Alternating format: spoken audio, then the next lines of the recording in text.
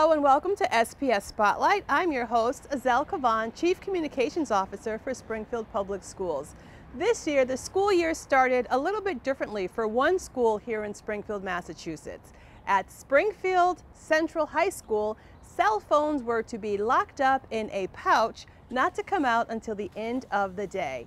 That started here this year, and since we're so far into the school year now, we wanted to check in and see how things are going, how students and teachers have adjusted, and what differences, if any, this new cell phone pouch is making. So let's go inside. Last year, there were a lot of students like bringing out their phones in class, trying to text someone I don't know. And for me, like in class, I don't like to be distracted. So like I put my phone in my bag or sometimes I just like I like to like be concentrated in what I'm doing. I know in a lot of my classes that some kids I didn't know would use it a lot. A lot of my friends personally, I feel like we didn't really use it a lot, but in general, a lot of there's a lot more phone usage. And sometimes teacher will be like, put down your phones.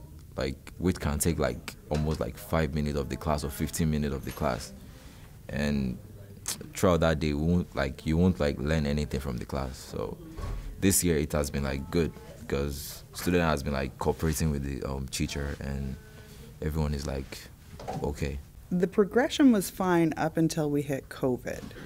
And then after COVID, it seemed like our students were I mean, for lack of a better word, addicted to their phones. They they couldn't be without them. There was that connection that they had to know what was going on immediately, whether it was a text from a friend or a notification.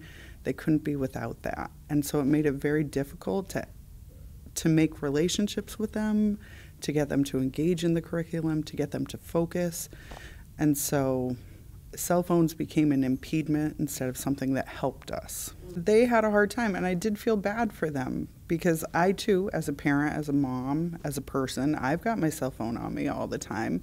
Um, and so we all had to learn to just be okay waiting.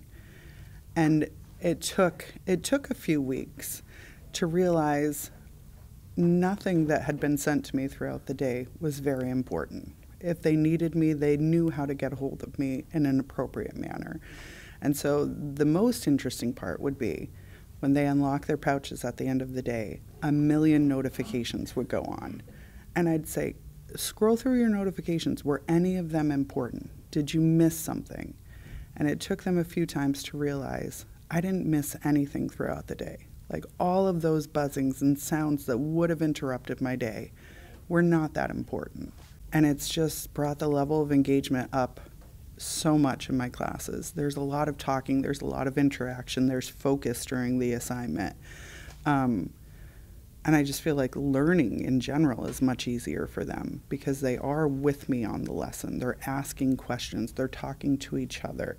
There's less, I don't know, there's less all work by myself, miss. They want to work together they have relationships with each other now. Instead of hiding behind their phones, they're seeking each other out.